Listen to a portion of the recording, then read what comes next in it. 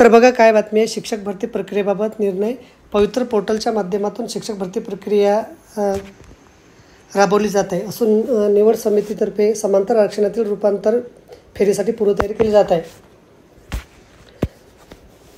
त्यामुळे पहिल्या फेरीत स्थान प्राप्त न झालेल्या उमेदवारांना निवड यादीत स्थान मिळणे शक्यता आहे. अनेक उमेदवार मुलाखतीशिवायच्या भरतीच्या टप्प्यामध्ये सामावले गेल्यानंतर प्रचलित कार्यपद्धतीनुसार कारवाई करण्याचं प्रस्तुत आहे अशी माहिती शालेय शिक्षण आयुक्त सूरज मांढरे साहेब यांनी परिपत्रकाद्वारे दिली आहे.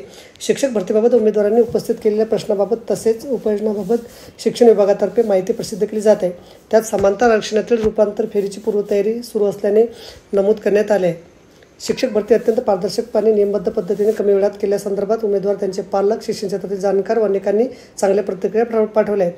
शिक्षक भरतीत निवड न झालेल्या उमेदवारांनी या प्रक्रियेच्या निष्पक्ष व पारदर्शक कार्यपद्धतीबाबत सकारात्मक प्रतिक्रिया पाठवल्याचा दावा त्यांनी केला आहे. शिक्षक भरती संदर्भात काही तक्रार असल्यास त्यांची सोडवणूक करण्यासाठी तक्रार निवारण दुरुस्ती समिती स्थापन केली आहे. या समितीकडे अर्ज करण्याची ऑनलाईन सुविधा उपलब्ध आहे. या समितीला तक्रार निवारण अर्जाचे अवलोकन करणं व प्रचलित कार्यपद्धती अनुसरून ही भरती प्रक्रिया पुढे नेणं अशा विविध आघाड्यावर काम करावे लागत आहे अशी माहिती त्यांनी दिली. तर बघा अशा प्रकारे अत्यंत महत्त्वाची माहिती आपल्याला समजली. व्हिडिओ आवडशी तर लाईक करा आणि शेअर करायला विसरू नका. धन्यवाद.